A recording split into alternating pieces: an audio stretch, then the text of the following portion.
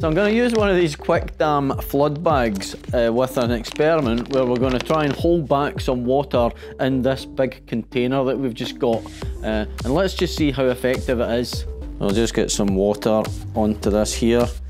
Uh, the water should flow down and start activating this dam here. So you can see already the powder base within the quick dam flood bag here is already starting to activate. You see it's starting to grow in size. Basically the powder substance turns into a gel inside here and this will blow up in a matter of no time. Okay, you see it there already.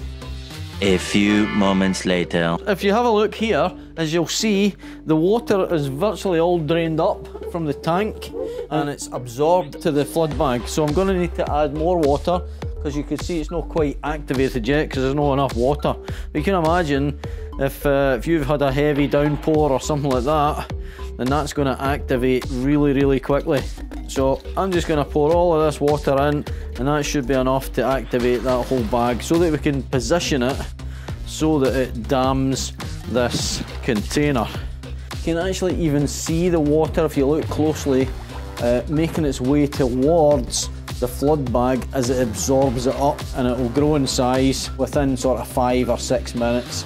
It will get to its full size and then we'll dam the thing.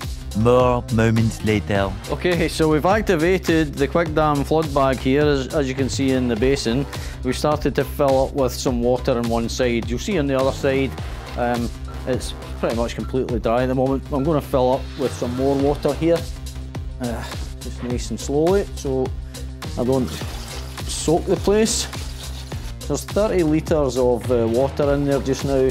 You'll see here that there's still, the size of the flood bag there, we could still get some more water in there without any problem. So let's try and pour some more in.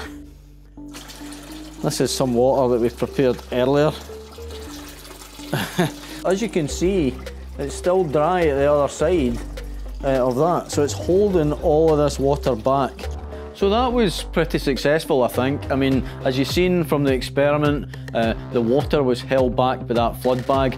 Clearly, um, it's a, a, controlled experiment within that bath, so it's got a kind of smooth uh, surface to it. If you're using these flood bags outside, they're going to be sitting on concrete or tarmac or whatever.